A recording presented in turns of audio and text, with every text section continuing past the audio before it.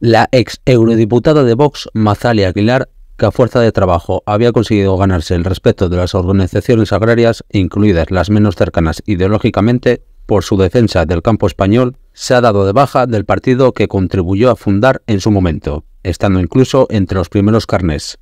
74 años, mujer competente, valiente y de reconocido prestigio en la defensa de los intereses de los agricultores y ganaderos. Vicepresidenta tercera de la Comisión de Agricultura del Parlamento Europeo. Las razones no son claras, pero puede deberse a su purga del partido en el nuevo grupo del Parlamento en Bruselas.